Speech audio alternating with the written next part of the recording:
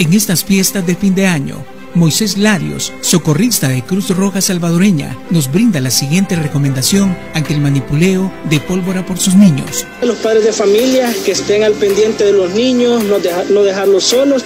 Recordemos que los niños en un descuidito pueden hacer alguna mala manipulación con pólvora y lo importante y la recomendación es que no usen ningún remedio casero, que atiendan cualquier tipo de quemadura, llamémosla de primero o segundo grado, puede ser un trapo limpio, un trapo húmedo y acudir al centro asistencial más En el cierre de estas fiestas, evitemos niños quemados. Una recomendación de tu radio.